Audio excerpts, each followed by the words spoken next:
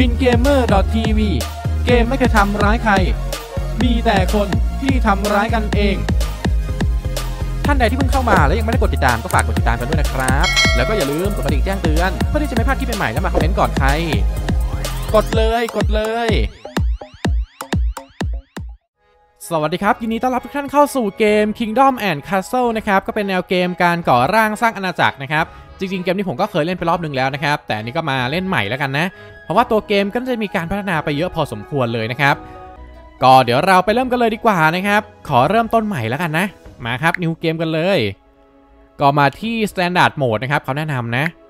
แล้วก็อันนี้เป็นความยากง่ายนะครับ ก็ขอเป็น Easy แล้วกันนะครับ เพราะว่าเราจะเล่นแบบชิวๆนิดนึงนะครับ ค่อยๆเป็นค่อยๆไปนะ เอ่อขนาดแมปผมขอเล่นแบบขนาดเล็กๆแล้วกันนะครับ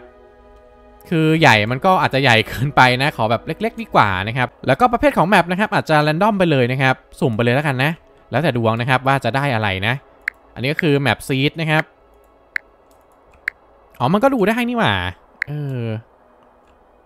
อยากได้เป็นแบบเกาะใหญ่เกาะเดียวนะ อืมเกาะนี้ก็ดูโอเคนะครับ แต่อาจจะยาวไปนิดนึง แต่ก็ใช้ได้มา ถือว่าเป็นเกาะใหญ่เกาะเดียวครับ ไปเริ่มกันเลย ก็นี่มันเป็นการเริ่มต้นใหม่นะครับ ก็ชื่อว่า New Home แล้วกันนะ อะไอ้ New Land ดีกว่า New Land โอเค อาณาจักรแห่งใหม่นะครับ อันนี้ก็คือการเลือก banner นะ ขอดูนิดนึง เอ่อ มีทั้งหมดอยู่ 5 สีนะครับ ผมว่าเอาสีเหลืองแล้วกัน มันก็ดูเท่ดีนะ มีดาบ มีมังกรด้วยนะครับ มังกรสองฝั่ง เออ สีเหลืองแล้วกัน มาครับมา นี่ ลุยกันเลยไป ก็ก่อนอื่นเลยนะครับเขาบอกว่าให้สร้างเป็นคีปนะครับ เหมือนเป็นคล้ายๆตัวศูนย์กลางนะ แล้วก็ต้องสร้างใกล้ที่เพาะปลูกด้วยนะครับ มีต้นไม้แล้วก็หิน อันนี้คือหินนะ เอ่อสต็อปนิดนึงคีปผมว่าเดี๋ยววางไว้ ประมาณตรงนี้ก็ดูโอเคนะครับ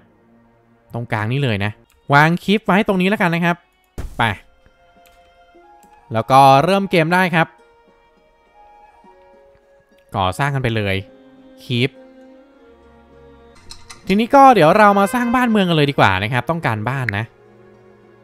บ้านหนึ่งหลังก็อยู่ได้ 5 คนนะครับเอ่อต้องสร้างถนนก่อนโอเค ถนนอยู่ตรงไหนถนน อ่ารถครับ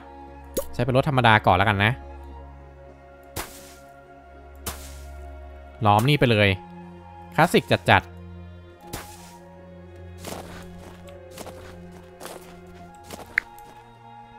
ขุดกันเข้าไปครับ เอ่อไม้ไม่พอ ไม้พอต้องตัดไม้นะ ตัดหมดนี่เลยถางไปเลยครับ แล้วก็เดี๋ยวเตรียมสร้างบ้านนะ ปุ่มกดมันจะแปลกๆนิดนึงนะครับ เวลาแบบสมมุติว่าเรากดซูมเข้ามันก็จะซูมออกนะ มันมีแบบ reverse ไหมดูแป๊บหนึ่งนะครับ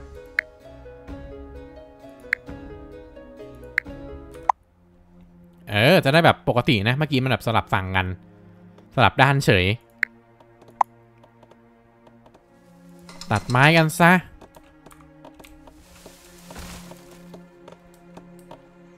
กราฟิกของตัวเกมก็เป็นแนวโพลีกอนนะครับ ก็ดูสวยงามนะตามยุคสมัยนะครับ แต่ว่าเกมมันก็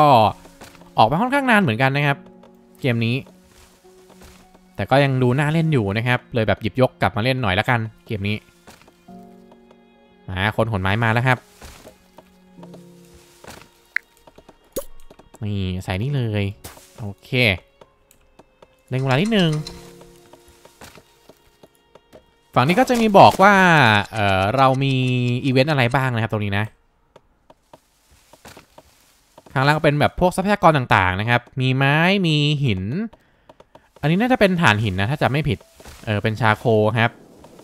อันนี้เป็นอาหาร อันนี้เหล็กครับ อันนี้เป็นพวกเอ่อของ blacksmith นะครับ อย่างเช่น เครื่องไม้เครื่องมือ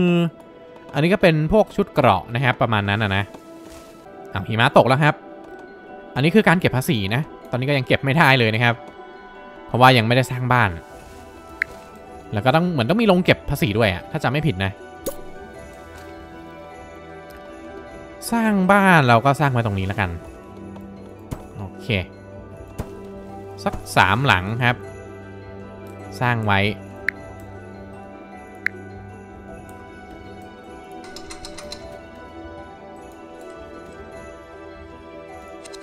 นนี้มีอะไรมานี่คือหมายตกใจ เฮ้ย เดี๋ยวนะปี2เหรอไวจัง ไวจัดจัดๆเออเขาบอกว่ามีโอกาสไฟไหม้ค่อนข้างสูงเลยนะครับตอนนี้นะ สูงปี๊ดเลยโอกาสไฟไหม้ อันนี้ก็เป็นผู้แนะนำนะครับ ก็เกี่ยวกับทางการเกษตร ทางการเมือง ทางการทหารนะ ไหนดูซิก็เขาบอกว่าต้องการสร้างฟาร์มนะครับ เพื่อที่จะผลิตอาหารให้เราอะนะ ผลิตอาหารให้ worker นะครับ อันนี้ก็เกี่ยวกับการเมืองนะครับ ต้องสร้างบ้านสร้างถนน ทหารก็ยังไม่แนะนำอะไรนะครับ โอเค เดี๋ยวเราไปสร้างตัวฟาร์มก่อนแล้วกันนะ อาหารสร้างฟาร์ม สร้างฟาร์มตรงนี้ เออเดี๋ยวนะ ต้องสร้างเป็นทางก่อนดีกว่า จะได้กำหนดถูกนะ โอเค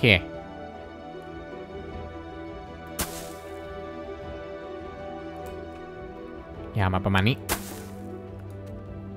แล้วก็สร้างฟาร์มนะครับ หรือว่าจะสร้างเป็นสวนผลไม้เลยก็ได้นะ แต่สร้างเป็นฟาร์มดีกว่า เพราะอาหารก็เหมือนใกล้จะหมดแล้วนะครับ สร้างเป็นฟาร์มไว้แล้วกัน สัก 4 อันอะลองดูก่อน ค่อยๆสร้าง ตอนนี้บ้านก็จุได้ทั้งหมด 15 คนนะครับ คนมีอยู่ 7 คนตอนนี้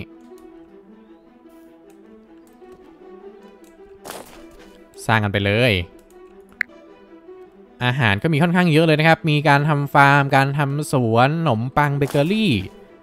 เอ่อการตกปลาด้วยนะอันนี้ ผลิตอาหารกันเร็ว เออผลิตอาหารหน่อย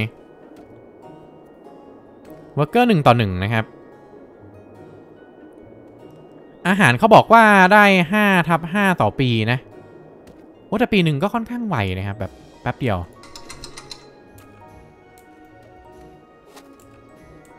อันนี้คือการผลิตอาหารใช่ไหม ยืนเฉยๆ มีคนมาอีก 3 คนนะครับ อ๋อ แต่ว่ามีคนแค่ 2 คนที่พอใจนะที่จะมาอยู่ที่นี่นะครับ โอเคก็กลายเป็น 9 คนจาก 7 คนเมื่อกี้ งั้นเดี๋ยวขอสร้างสวนสักที่หนึ่งดีกว่า อะวางนี่เลยสวนสักหนึ่งที่ การเก็บภาษีเพิ่มอีกหนึ่งได้ไหม ยังไม่ได้ครับต้องสร้างเป็นที่เก็บสมบัติก่อน ทองพระคลังอะนะ อันนี้ความสุขของประชากรนะครับ 61 อันนี้สุขภาพนะครับ ก็ต้องการอออาหารที่หลากหลายนะ มีธัญพืชขนมปัง ผลไม้แล้วก็พวกเนื้อนะครับ พวกเนื้อพวกปลานะ เนื้อหมูอะไรอย่างนี้อ้าวฝนตกครับ ปีที่สามแล้ววะแป๊บเดียวเอง อย่างไว ไม้ก็ยังตัดได้ไม่หมดเลยนะครับ ไม้นี่แบบมีอีกเพียบเลยนะงั้นเดี๋ยวตรงนี้ค่อยตัดดีกว่า ตัดใกล้ๆก่อนที่เราจะใช้งาน ตรงนี้รีบเคลียร์ซะ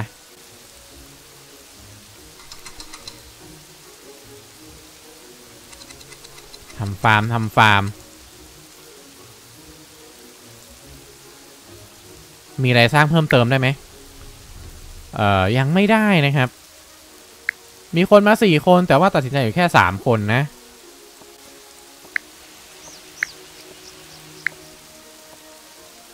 ยังไม่มีอะไรสร้างเลยนะครับ นี่คนคนกำลังก่อสร้างเคยดูแบบในคลิปไหมที่มันแบบพืชจำพืชจำพืชจำพืชอะการตอกเสาเข็ม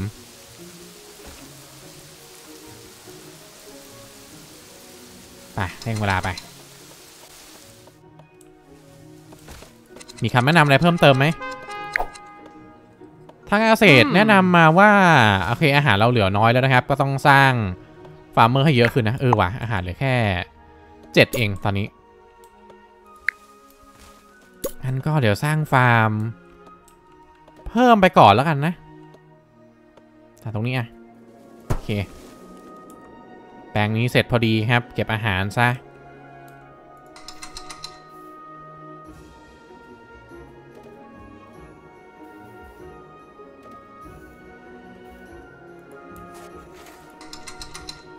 ส่วนผลไม้ก็เริ่มโตแล้วนะครับ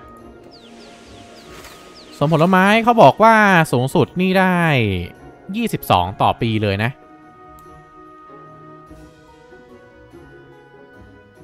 มีโบนัสการในพวกนี้ด้วยนะครับไอ้พวกปุ๋ยนะคนมี 13 คนแล้วต้องสร้างบ้านเพิ่มนิดนึงครับเอ่อทางเข้าทางออก โอเคหันมาทางนี้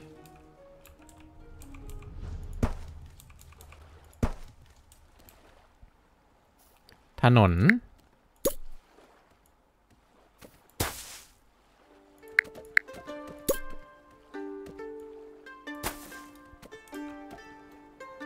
ทำไมเขาไม่ยอมมาตัดไม้ตรงเนี้ย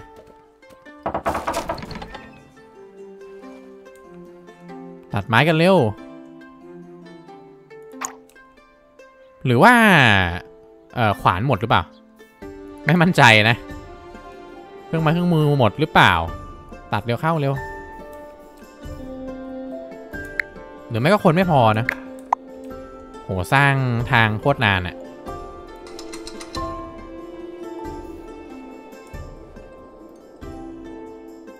ปีที่ 5 แล้วนะครับตอนนี้นะ แนะนำอะไรเพิ่มเติมดูซิอืมการเกษตรก็อาหารเหลือน้อยเหมือนเดิมครับ Hmm. การเมืองเขาบอกว่าผู้คนต้องการความสะดวกสบายมากขึ้นนะนะ ก็ให้สร้างบ้านนะครับแล้วก็ดูว่าบ้านสามารถอัปเกรดอะไรได้บ้างนะอ๋อต้องการถ่านหินด้วยว่ะเออลืมทำเลย ต้องมีฟืนให้เขานะครับเฮ้ยคนมา 5 คนตัดสินใจอยู่ 4 คน คนก็เริ่มเยอะแล้วนะครับ อันนี้การทำงานนะทำไมบิลดเดอร์มันสร้างมันบั๊กหรือเปล่าเนี่ยทำไมมันสร้างไม่เสร็จสักทีอะเออเอาเขาบอกไม่มีไม้อะ เดี๋ยวลองลบก่อนดิอะตัดไม้ใหม่ดิอะโอเค ตัดไหม ไม่ก็เดี๋ยวถนนสต็อปก่อน เอาคนไปตัดไม้ก่อนไป คนอาจจะไม่พอหรือเปล่านะ เพราะว่าไปทำพวกการเกษตรนะครับ เออว่ะ เดี๋ยวทางค่อยมาสร้าง โอเคตัดไม้แล้วนะครับ ต้นไม้โยกแล้ว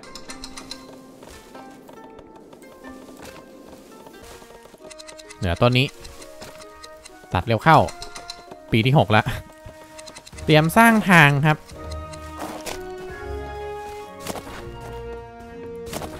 คนทั้งหมด 24 คนนะ ว่างงาน 2 คน โอเค ถนนล้อมรอบครับ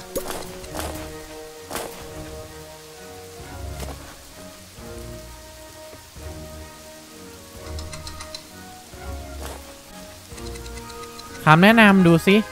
มีอะไรเพิ่มเติมไหมไม่มีครับเอ้ยฝั่งนี้เดี๋ยวเราสร้างเป็นเมืองดีกว่านะ เพราะว่าไม่ค่อยมีทางการเกษตรนะครับ มันเป็นพื้นที่สีเหลืองอะนะ อันนี้คือถ้ำครับ มีถ้ำอันนี้เป็นหิน ที่ไม่สามารถใช้งานได้นะ ที่ใช้งานได้คือเป็นสีขาวๆนะครับ ถ้าไม่มั่นใจว่ามันจะมีตัวอะไรออกมาหรือเปล่านะ หมาป่าไหมถ้าจำไม่ผิด โสภาพประชากรค่อนข้างดีนะครับ 60 นะ โอกาสการเกิดโรคระบาดนะครับ ก็ค่อนข้างต่ำเลยนะ โลเลยนะครับ เพราะคนมีผลไม้กินมีธัญพืชกินนะครับ ผมว่าต้องรอคนให้มาอีกอะ่ะเอออันนี้ไงตอนนี้คือหมู่บ้านกลายเป็น small village แล้วนะครับ หมู่บ้านขนาดเล็กนะ ก็เราน่าจะสามารถสร้างสิ่งของได้มากขึ้นนะครับ มีไหม ไม่มี ต้องดูที่ไหนหรือเปล่าแป๊บหนึ่งคำแนะนำก็ยังไม่มีนะครับ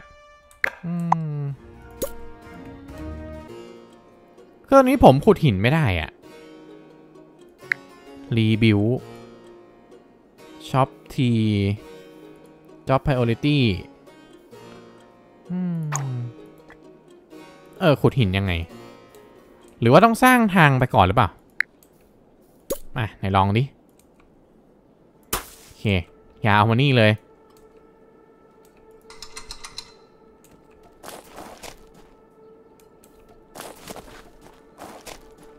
ต้นไม้ตัดออกไปด้วยครับ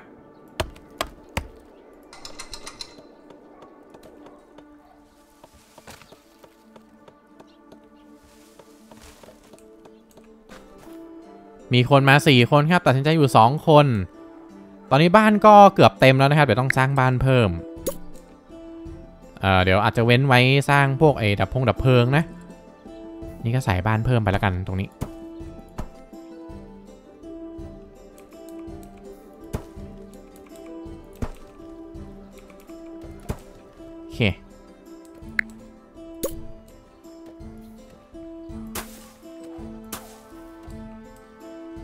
ต้นไม้ ต้นไม้ตัดเพิ่มนิดนึงแล้วกัน ฝั่งนี้ครับตัดเลย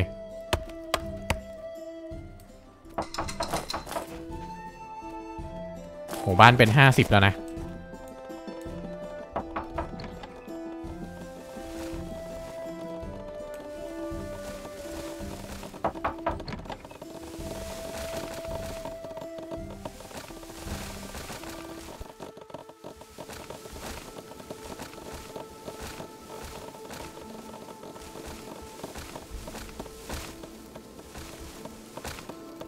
หน้าหนาวมาอีกแล้ว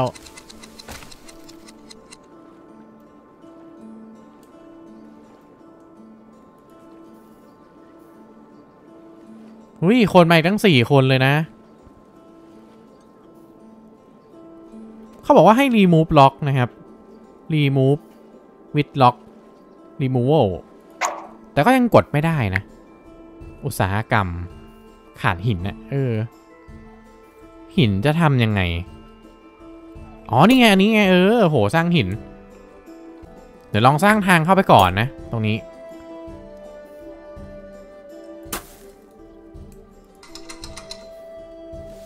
ไม่มั่นใจว่ามันจะติดตัวหินสีดำนี้หรือเปล่านะครับ สร้างได้ไหม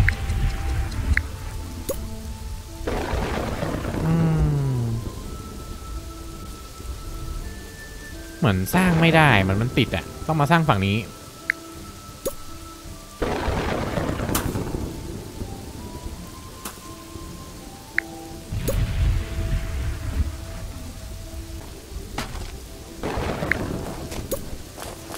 โอเค นี่ไงครับ สร้างเหมืองหินได้แล้ว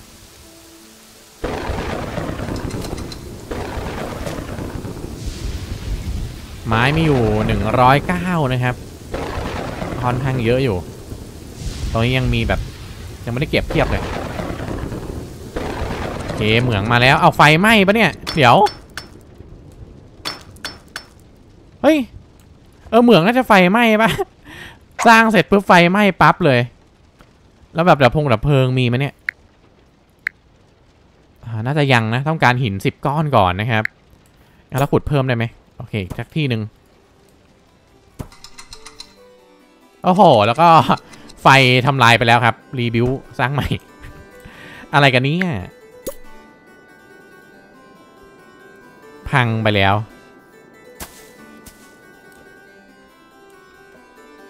แสดงว่าก้อนนี้ก็สร้างไม่ได้ดิใช่ไหม เพราะว่าหินดำมัน มันล้อมอยู่อะเออ ใช้งานไม่ได้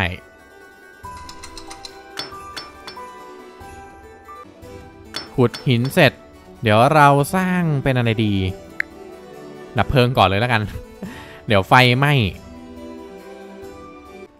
บ้านหลังนี้เหมือนว่าจะจุได้ตั้ง12 คนเลยนะ อันนี้จุได้ 25 คนเลยนะครับ ใหญ่สุด town square ช่วยเพิ่มความสุขของประชาชนนะครับอ่าเออ town square มาก่อนก็ได้มั้ง ตรงนี้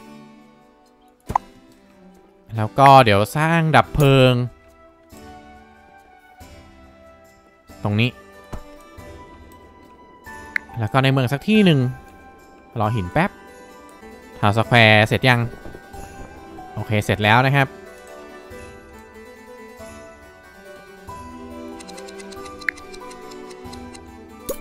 บ่อน้ำดับเพลิง ไว้ตรงนี้ โอเค โหสิบปีแล้ววะอย่างไว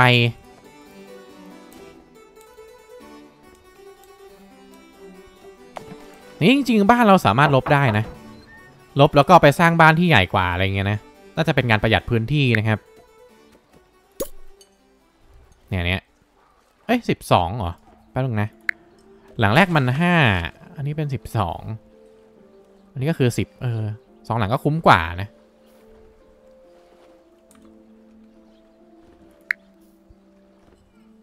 คลังสมบัติคลังสมบัติคืออันนี้ครับ ต้องการ หินตั้ง50ก้อนนะ อย่างเยอะ ความสุขประชากรนะครับเกือบ 70%นะ สุขภาพ 70 ขาดเรื่องเนื้อนะ ไม่มีเนื้อกินโหคนมา 7 คน แต่ว่าดึงดูดอยู่ได้แค่ 3 คนนะครับ พอใจมาอยู่ 3 คน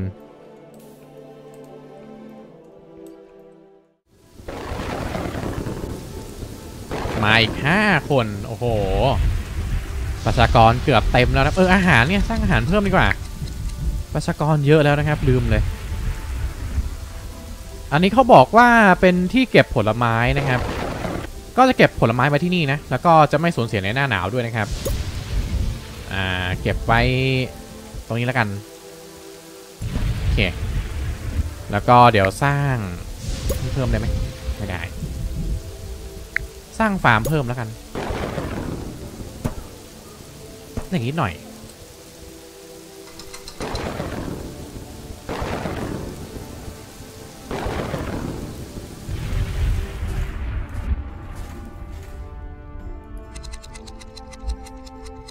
เทเชอร์รูมครับมา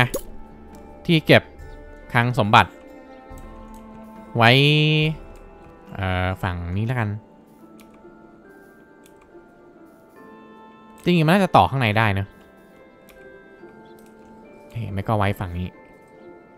โอเคถนน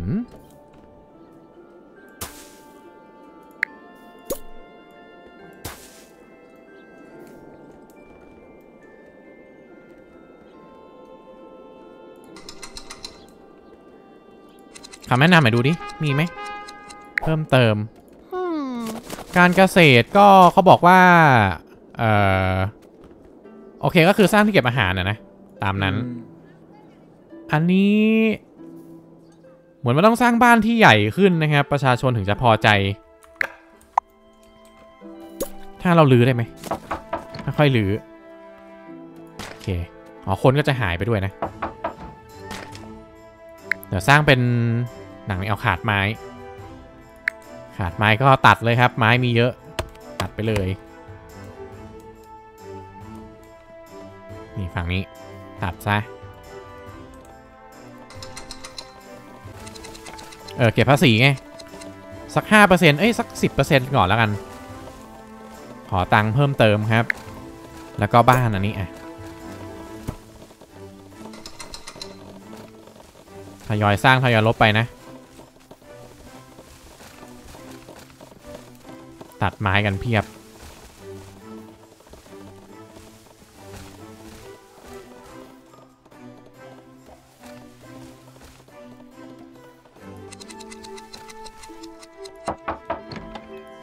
หลังนี้เสร็จนิดนึง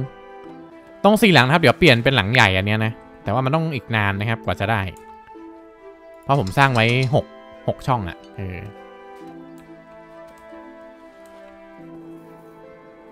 อาหารเหลือสิบสามเหรอ อาหารก็ดูเหมือนไม่ค่อยจะพอเนี่ย สร้างเพิ่มนิดนึงแล้วกัน ตรงนี้ต้องตัดไม้ อะเคลียร์ซะ บ้านเร็วบ้านเร็ว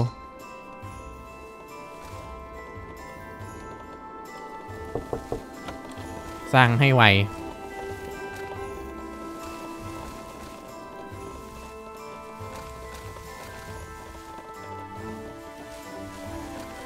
โหหลังนี้ก็สร้างนานนะเนี่ย สร้างนานมาก คนก็มีความสุขแล้วนะครับ ทีนี้เราลบอีกสองหลัง ลบเลย แล้วก็สร้างหลังนี้ขึ้นมา โอเค ตามแผน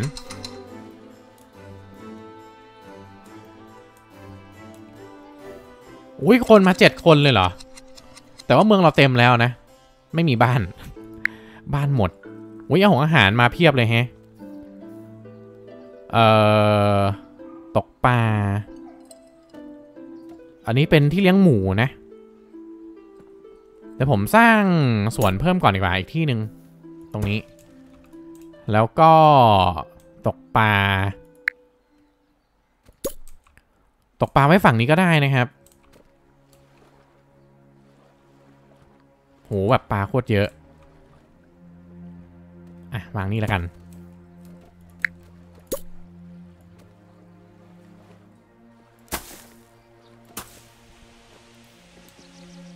ต่อไปเห็นมีตลาดแวบๆนะ ตลาด small market เขาบอกว่า market worker นะครับ จะขนอาหารแล้วก็ชาโคมาไว้ตรงศูนย์กลางนะครับ จะได้ทำให้ประชาชนมีแบบ เหมือนแบบเอาของเข้าบ้านได้ง่ายขึ้นน่ะเออตลาดขนาดเล็กเอาวางไว้ตรงนี้ก่อนแล้วกัน โอเค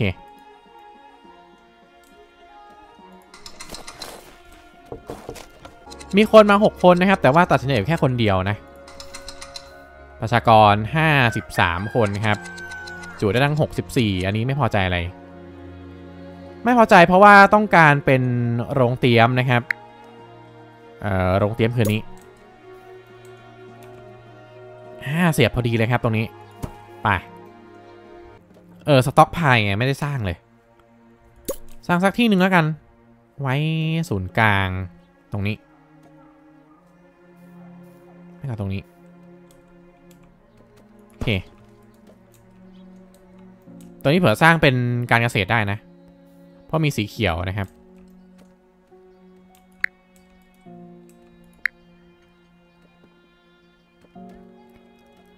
การทำป่าไม้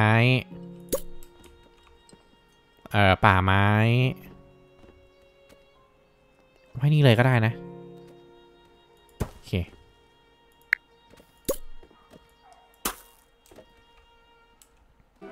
ที่เอาหินดำออกไม่มั่นใจนะครับว่าต้องเอาออกยังไงนะ เหมือนต้องสร้างอะไรก่อนหรือเปล่าเอานี่ไงนี่ไงล็อก removal นี่ไงเออชาโคminer charcoal making charcoal ไว้ตรงนี้แล้วกัน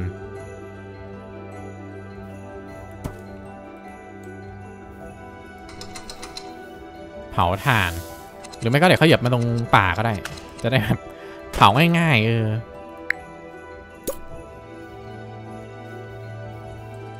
ตรงนี้ไงสักสองอัน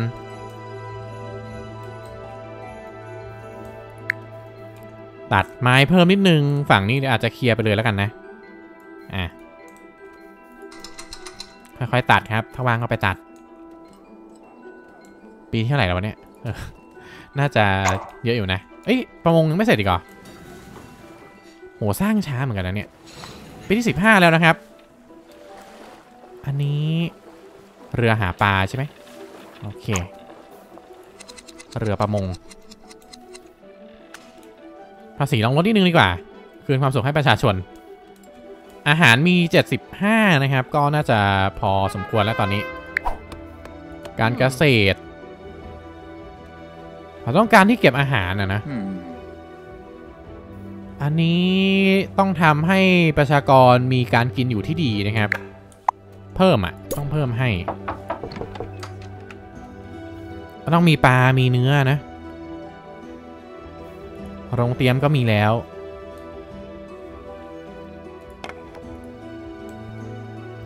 อาหารมันก็ไม่ได้มาเก็บนี่หว่า เออ มันยังแบบยังไม่มาเก็บเลยอะ เคชาโคก็เริ่มทำแล้วนะครับ ป่าไม้ก็เริ่มทำเหมือนกัน เอ้ยคนไม่พอนี่หว่า เออคนน้อยไปฮะท่านภาษีเดี๋ยวค่อยเก็บดีกว่าเอาคนมาก่อน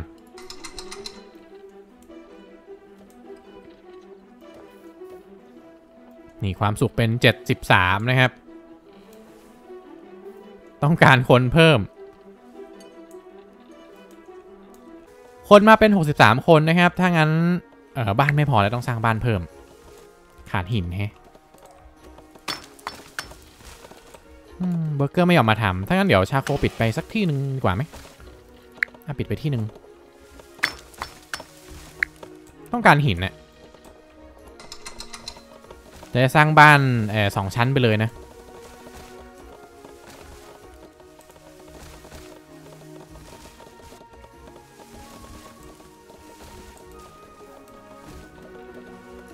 เมื่อกี้มันเสียบปลามาใช่ไหมแวบเออ มาขายที่ตลาด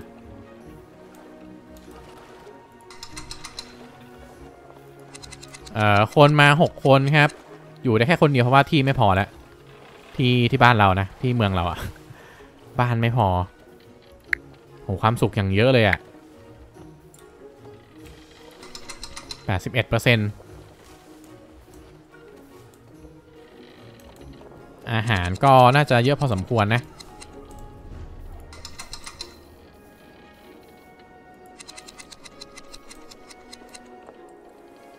งั้นเอาบ้านหลังเล็กไปก่อนแล้วกัน เพราะว่ามันไม่ทันนะคนมันไม่มีที่อยู่อะ โอเคตรงนี้สองหลัง